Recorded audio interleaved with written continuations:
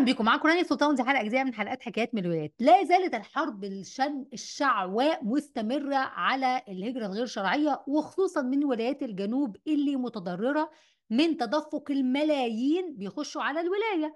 ففي ولايات مش قادرة تستحمل بيقول لك في ملايين بيخشوا عندنا بياخدوا ال resources بتاعتنا بيقعدوا في الأراضي آه، بتاعتنا بي- لو عيوا بيروحوا المستشفيات يدخلوا ولادهم المدارس يروحوا ياخدوا البرامج المساعدات الأكل الشرب الإقامة كل ده الولاية ما تقدرش إنها تستحمل ده. ففي بعض الولايات طلعت قوانين علشان تخلي الحياة صعبة على المهاجرين غير الشرعيين أو الناس اللي ما عندهمش أوراق. وأنا كنت عملت فيديو قبل كده ارجعوا له على القناه من أسبوعين كان بيتكلم عن ولاية زي أوكلاهوما وتكساس. النهارده بقى بنتكلم على ولاية جديدة اللي هي ولاية أريزونا والحقيقة الولاية دي مشهورة جدا إنها بتطلع القوانين اللي بتعمل بلبلة.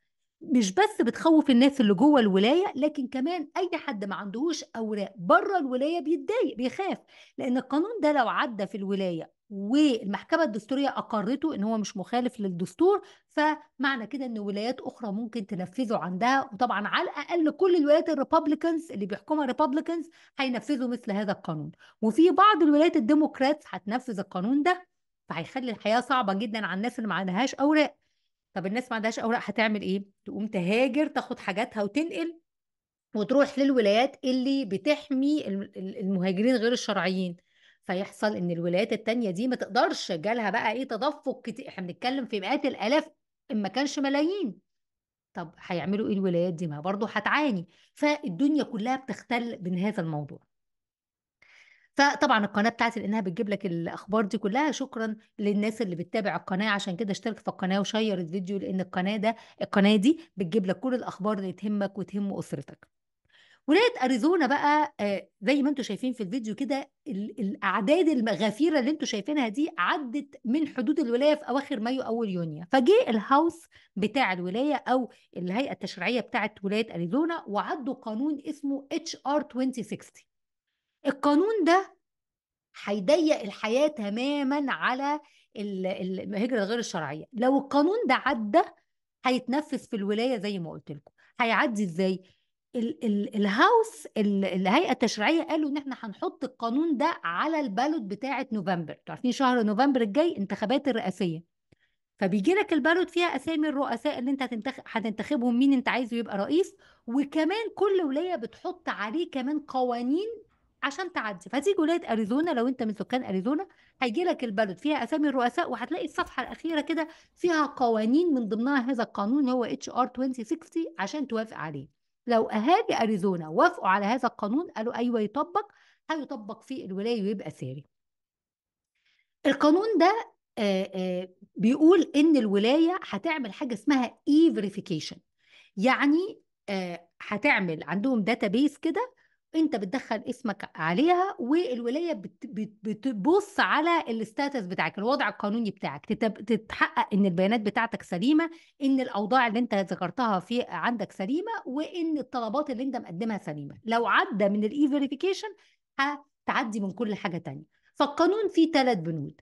البند الأولاني بيقول لك إن أي welfare programs أي برامج مساعدة بتقدمها الولاية لازم تعدي على ال E-verification ده يتأكدوا من هويتك ومن وضعك القانوني ومن أحوالك الاجتماعية عن طريق ال E-verification لو حصل وكانت القوانين اللي انت البيانات اللي انت ذكرتها مش مطابقة للي عندهم في الولاية هيتهموك ويجرموا يعني يبقى عليك عقوبة إن انت زورت في أوراق رسمية.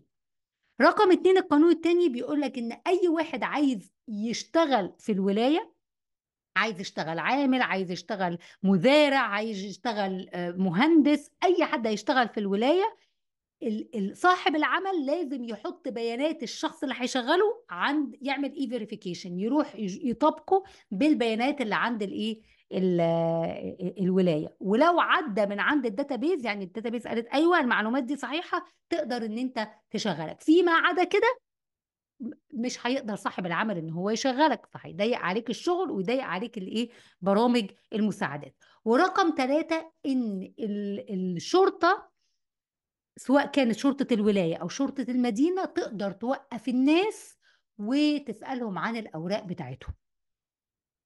قانون زي ده رقم ثلاثة ده بالذات أكتر حاجة كانت مرعبة. حصل سنة 2010 زمان طلع مثل هذا القانون وكان رعب الناس. كانوا مسمينه me your papers آه، law.